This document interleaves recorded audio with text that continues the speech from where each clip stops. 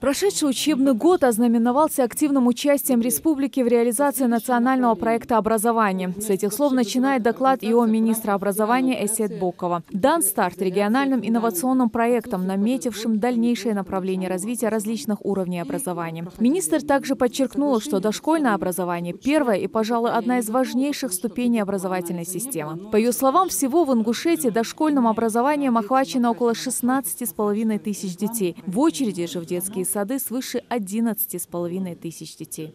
В развитии дошкольного образования в рамках нацпроекта планируется введение в эксплуатацию детских садов для того, чтобы ликвидировать дефицит посадочных мест в детских садах, что очень актуально на сегодняшний день для женщин, э, которые хотят выйти на работу.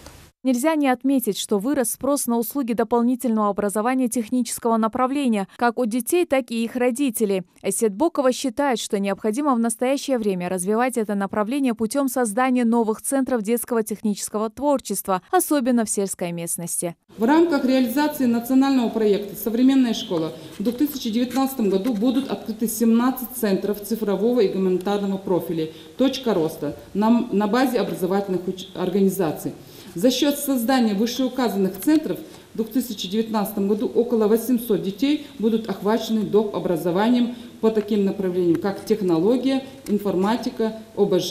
В центрах точки роста будут осуществляться единый подход к образовательным программам, составленным в соответствии с новыми предметными областями – Изменится содержательная сторона предметной области технологий, в которую будут введены новые образовательные компетенции. Это 3D-моделирование, компьютерное черчение, технологии цифрового пространства. Говоря о достижениях, нельзя не отметить и проблемы в образовательной сфере. На сегодняшний день капитального ремонта ждут 78 образовательных учреждений республики. Это и школы, и детские сады. На эти цели необходимы немалые средства.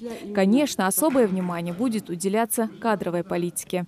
Как правило, наши учителя, выпускники нашего университета а, переходят в образовательные организации уже в качестве учителей.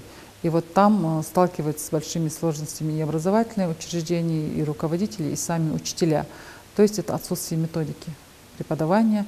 А, поэтому с этой целью указом, приказом министерства будут э, направлены на образовательные учреждения о обязательном введении в образовательных учреждениях системы наставничества, э, чтобы молодой специалист был прикреплен к специалисту с большим опытом и, как следствие, хотим получить результат учителя подготовленного учителя.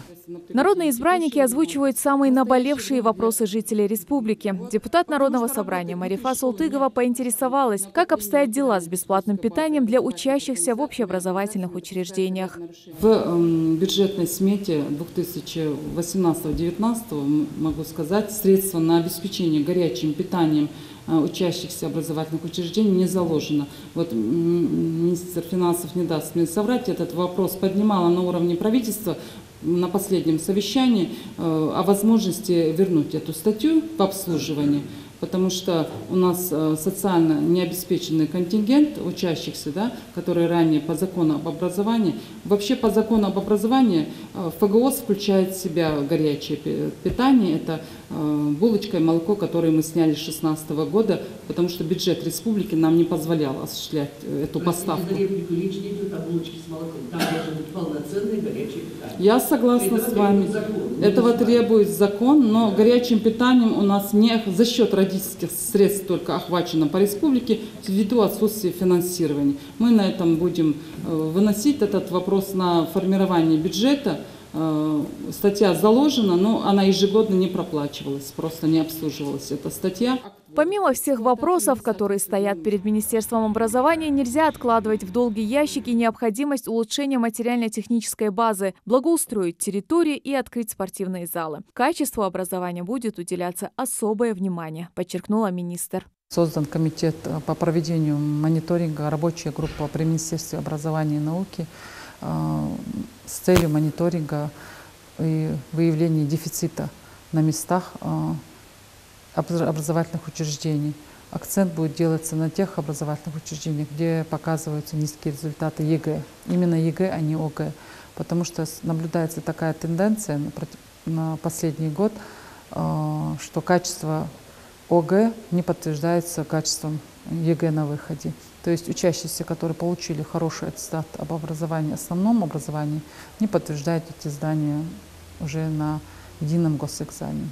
В рамках реализации нацпроекта планируется введение в эксплуатацию до конца 2022 года 22 детских сада и 17 школ. Завершая свое выступление, Эсет Бокова подчеркнула, что все мероприятия, реализуемые в системе образования республики, направлены на создание условий для выявления и развития таланта каждого ребенка. А это все невозможно без соответствующей материально-технической базы образовательных учреждений. Светлана Томова, Асхаб Белакиев, Новости 24.